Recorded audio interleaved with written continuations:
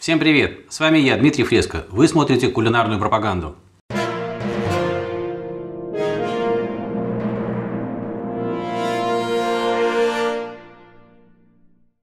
Постоянные зрители канала помнят, что я некоторое время назад приобретал дымогенератор. Кто не видел, смотрите распаковку этого устройства вот в этом ролике. Сегодня я хочу вам показать, как я засаливаю мокрым способом. Это для меня первый мой опыт. Я для этого купил шейку и бекон. Здесь всего 4 килограмма 300 граммов общий вес продукта. Для чего нужен вообще мокрый способ, а не сухой? Дело в том, что при сухом способе соль неравномерно проникает в ткани продукта. При мокром способе можно значительно более длительное время его просаливать, и он будет более равномерно просолен. Это один момент. И второй момент. Дело в том, что при Э, копчении, нужно там вялить, коптить, мясо подсыхает и теряет процентов 10 где-то влаги. Если мы мокрым способом засаливаем э, забариновое мясо, то эта влага проходит вовнутрь продукта, потом она уходит, и вес, конечный вес продукта остается неизменным, либо меняется, но незначительно. То есть на лицо у нас больше выход готового продукта, он получается более сочный. А что касается засолки, я буду солить мокрым способом. Вот здесь в кастрюльке я приготовил рассол. Это 10% раствор солей. Здесь 1350 мл воды, 70 граммов нитритной соли и 80 граммов поваренной соли. Этой солью я при помощи вот такого вот здоровенного шприца буду обкалывать мясо для того, чтобы весь продукт пропитался изнутри этой солью, этим маринадом. Шейка весит 2 килограмма. В нее надо закачать 25 таких шприцов. По 20 кубиков рассола каждый. Бекон, тут 2 килограмма 300 граммов, я разрежу на 4 части и в каждую закачаю по 7 таких шприцов. Ну что, начнем.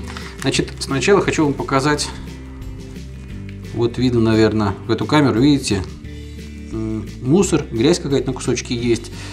Несмотря на все заверения всяких сессов и прочих, а мясо, которое попадает к нам на стол, далеко не всегда чисто. На нем есть какой-то мусор. Этот мусор я хочу смыть. Так, поехали.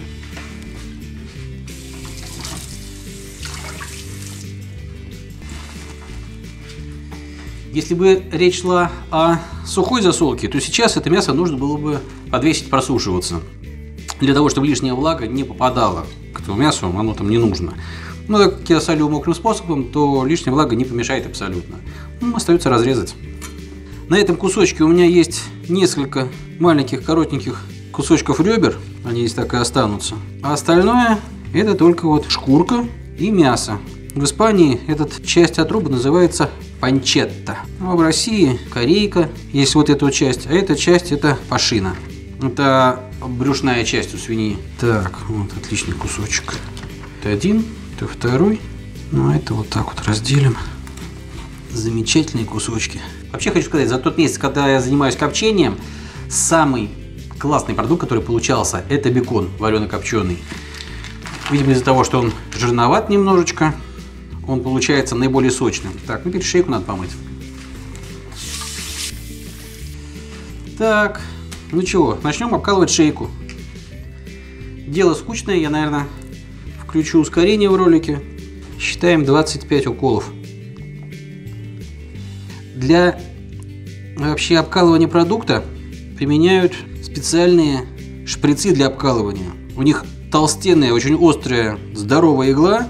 И у этой иглы есть не только а, одно отверстие для одно отверстие вот для этого самого для носика, но и боковые тоже. Поэтому все получается гораздо быстрее. И я так подозреваю, что в случае с обкалыванием таким шприцом можно не высчитывать что-то, а просто положить их на весы и вколоть сразу количество, ориентируясь только на вес. Мне нужно э, сюда вколоть столько этого самого рассола, чтобы его вес составил 20% в общем весе продукта. Тогда э, соль у меня этот рассол, как вы уже успели посчитать, я надеюсь, 10% Тогда в готовом продукте, когда я закончу уже эти все процессы копчения, э, общее содержание соли будет около 2%. А это как раз таки для меня, по крайней мере для моего семейства, э, самое оптимальное количество соли. Чтобы вам не сильно скучно было смотреть, я сейчас выключу камеры, но включу, когда закончу уже обкалывание. достал побольше посудину. Ну все, наигрался я в доктора. Теперь все это нужно сложить в холодильник и оставить в покое на 36-48 часов, что все это дело хорошенько просолилось. А на производстве, когда таким образом обкалывают мясо, потом его загружают в специальные машины с этим же рассолом, такие барабаны мощные, похожие на стиральные. Все это делается для того, чтобы более равномерно все это мясо внутри просолилось, чтобы равномерно разошелся э, весь рассол. У меня таких машин нет, и у меня не производство. Вот я оставшийся рассол сюда же вливаю. Я в течение этого времени периодически буду мясо доставать, массировать, вот так вот, и убирать. Продолжаем процесс. Итак, на сегодняшний день все мясо просаливалось 48 часов. В принципе, оно могло бы лежать здесь в этом рассоле и дольше, и неделю, даже 10 дней, наверное но 36 часов более чем достаточно для просолки. За то время, которое оно лежало в рассоле, оно просолилось. И сейчас, согласно технологическим картам, которые утверждают, что в поверхностном слое мяса соли уже в 2-3 раза больше, чем внутри, потому что рассолом оно и сверху залито, нам нужно это мясо вымочить. Время вымачивания зависит от того, какое мясо мы вымачиваем. Значит, вот это у меня грудинка с кусочком пашины. Для этой части свинины время вымачивания, она, видите, небольшая, составляет полчаса-час. Для шейки, она большего размера, согласно тем же технологическим э, картам, время вымачивания составляет час-полтора. Вымачивать нужно в воде при температуре не выше 20 градусов. За это время лишняя соль снаружи уйдет, вода будет выщелачивать этот раствор, а соль, которая внутри продукта, распределится более-менее равномерно. Этот рассол сливаю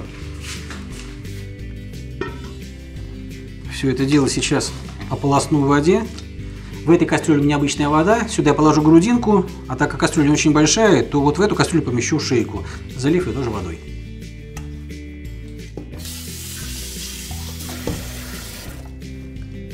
Так. Как она выглядит? Видите, все мясо набухло, напиталось этим рассолом, хорошенько просолилось, немного изменилась геометрия. И все идет по плану. Значит, перекладываем это дело в воду и оставляем это дело в покое, ну, наверное, на 45 минут я оставлю. И на час 15, даже, наверное, все-таки на полтора часа я оставлю шейку. Сюда. Сливаю водой.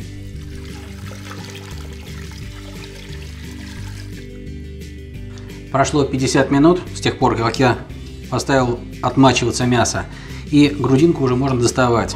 Ее отложу из воды пока сюда. Сейчас ее нужно обвязать поплотнее. Это для того, чтобы она при последующей обработке не разваливалась на части. И подвесить просушиваться. Метод обвязки я показывал уже не раз и не два. Он достаточно прост.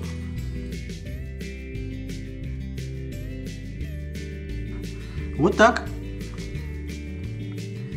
То же самое проделаю с остальными и подвешу вялиться.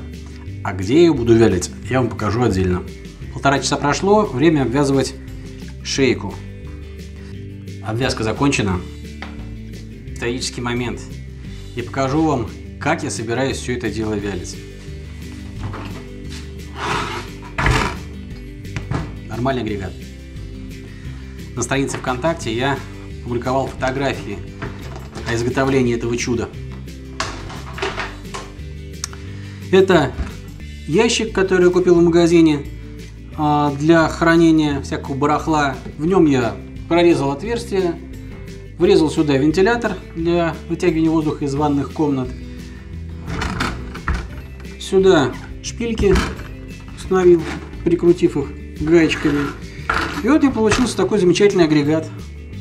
Можно, конечно, вялить мясо, подвешивая его просто на ветерочке, на сквозняке.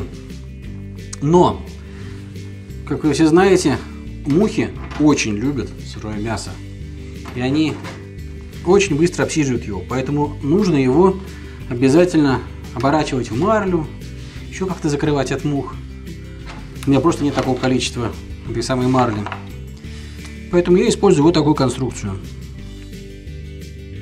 Из практики использования этого агрегата могу сказать, что приблизительно 3 часа, и весь продукт внутри будет уже хорошо подсушен.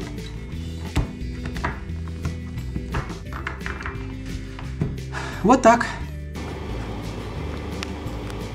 Итак, друзья, прошло 3 часа с тех пор, как я убрал вялиться свинину. Она уже подсохла, подвялилась. Согласно технологической карте, этот процесс называется стекание. Сейчас мне нужно, согласно опять же той же самой техкарте, это мясо подсушить в духовке при температуре от 90 до 110 градусов в течение 10-15 минут. 10, соответственно, для маленьких кусочков, 15 для более здоровых. Вот у нас замечательная свинятина. Начну, я думаю, с, как раз перекладывать с бекона. А здесь у меня еще висят два кусочка. А, я повесил вялиться совершенно замечательную вырезку свиную. Отлично.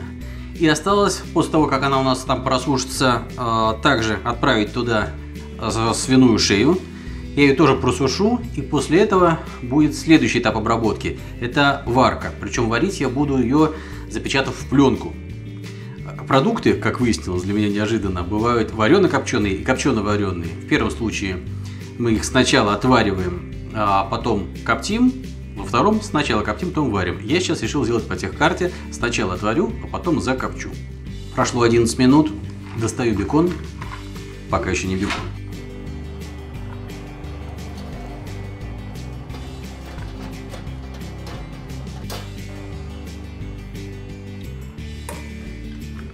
А теперь туда же у нас уходит шейка. А шейка у нас отправляется на 15 минут. После чего я ее достану, запакую все в пакеты и отправлю вариться. А, до достижения внутренней температуры в 69-70 градусов.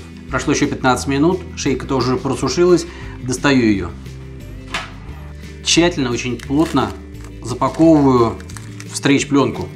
Вообще, по-хорошему, нужно, конечно, это утягивать в какой-нибудь вакуум-пакет но я пока таким не обзавелся. Поэтому просто перетяну вот так ее. Можно еще использовать сетку, которая плотно утягивает все это дело. Но тоже неизвестно, где ее найти купить. Варить, естественно, я буду не сразу все вместе, потому что просто поместить в кастрюлю, а по очереди. Все, как видите, плотно запечатал все, запаковал. Такой хорошенький кусочек. Вкусно, наверное, получится. Теперь отвариваю. Отваривать нужно, я, по-моему, уже говорил, до внутренней температуры в 70 градусов, 69-70 градусов. А, по технологической карте допускается помещать а, в воду температурой 85-90 градусов. Это начало варки. Так как сам продукт, естественно, холодный сейчас, а, температура после этого понизится в кастрюле. И нужно будет варить при температуре 75-85 градусов. Это по технологической карте. У меня есть градусник, я вам его показывал, я буду мерить температуру внутри большого куска. Из предыдущего опыта я знаю, что для вот такого размера кусочков достаточно 35 минут. Выдержать мне при температуре воды 75-80 градусов до достижения правильной температуры. Поэтому эти я прокалывать не буду. А вот с вот этим здоровым куском, ну, вычислим. Надеюсь, что часа хватит. Итак, вчера я вечером отварил и шейку, и бекон, и вырезку. Хочу сказать, что со временем я вам немного наврал. Дело в том, что раньше я варил значительно меньше объема мяса единовременно в одной кастрюле, а в этот раз упихивал по полной программе. Поэтому вода нагревалась медленнее и процесс растянулся. Бекон я варил в результате не 40 минут, не полчаса, а у меня до внутренней температуры 69 градусов дело растянулось на час 20 минут. А шейка, она вообще здоровая такая была внутри. Она у меня варилась почти 2 часа. В любом случае, я вам настоятельно советую пользоваться термометром на кухне. Очень полезная, удобная штука. Ночью я, естественно, коптить не стал. Все это дело достал и опустил вот в эту коробку. В этой коробке я в течение, наверное, получаса э, мясо просушил, оно остыло. И я убрал ее опять в полиэтиленовый пакет и оставил на ночь в холодильнике. Сейчас убираю в коптильню.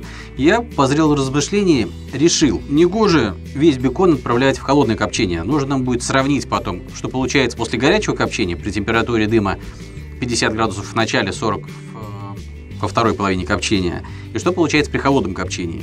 Поэтому сейчас я в эту духовку, которая у меня стала агрегатом для горячего копчения убираю шейку и один кусок бекона. А, духовка это у меня провалялась в подвале полтора года, наверное, после ремонта. Я все никак не выброшу ее. И вспомнил, что есть, и она, кстати, работает. Здесь есть регулятор температуры, который позволяет выставлять то, что мне нужно. Ну, собственно, и все.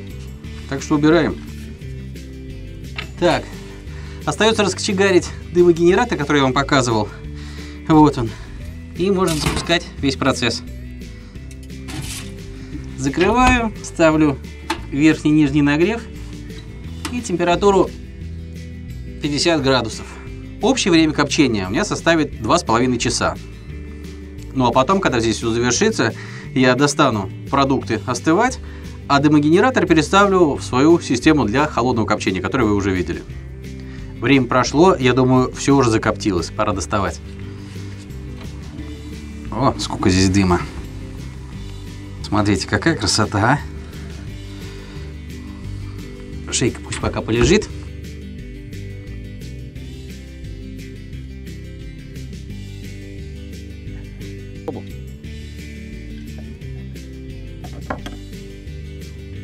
Отлично. Он, конечно, отличается по вкусу от э, того бекона, который я делал в холодном дыму. Его мы тоже попробуем, но это тоже очень хорошо. А теперь время шейки. Но шейку я буду разрезать только после остывания. Ну что, друзья, у нас практически завершающий момент. Повесил я сюда бекон и две вырезки. Будет коптиться. Вот уже заполнил опилками дымогенератор. Осталось только закрыть все и зажечь. Поворачиваем и раскочегариваем дымогенератор. Новые зрители могут посмотреть устройство всей этой системы вот в этом ролике. Вообще раскочегаривать дымогенератор вот этой вот газовой горелкой. Но на самом деле это можно сделать легко свечкой икеевской. Вот он здесь снизу ставится.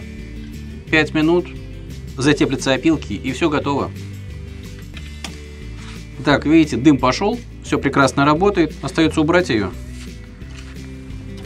Даже не пользуюсь дверкой. Да, друзья мои, несмотря на кажущуюся несерьезность этой конструкции, она отлично работает и результат просто великолепен. Мне более чем достаточно. Вот мы добрались до самого интересного момента. Посмотрим, что у нас получилось. Это у нас шейка. Ну, по-моему, просто великолепно. На вид очень даже. Аромат. Прекраснейший аромат. Органолептические испытания.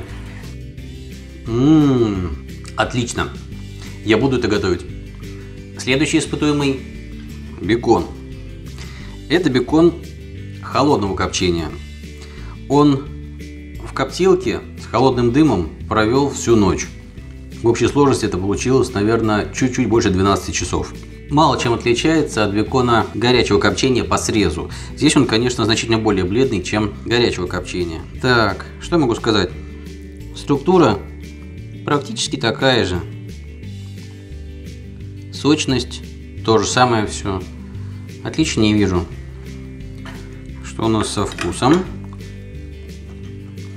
Знаете, мне, наверное, больше нравится именно копчение холодным дымом. У него, у этого кусочка нет такого сильного дымного запаха предыдущего. А в беконе горячего копчения поверхность была чуть более соленая. Ну, там, правда, времени прошло после того, как я его готовил, всего ничего. А этот бекон, после того, как я его провялил, он не отвесился, ночь висел в коптилке, сейчас еще полдня, наверное, провел, отдыхая после коптилки, и соль, видимо, немного выровнялась по а, глубине куска. И этот получше. Итак, подводя итог. Как вы убедились из этого видео, готовить копчение несложно, это долго, правда. И требуется в течение нескольких дней утром и вечером проводить некоторые операции. Но в принципе процесс очень прост. Настоятельно рекомендую. Спасибо за компанию. Понравилось лайки, не понравилось дизлайки. Подписывайтесь. Всем спасибо. Пока.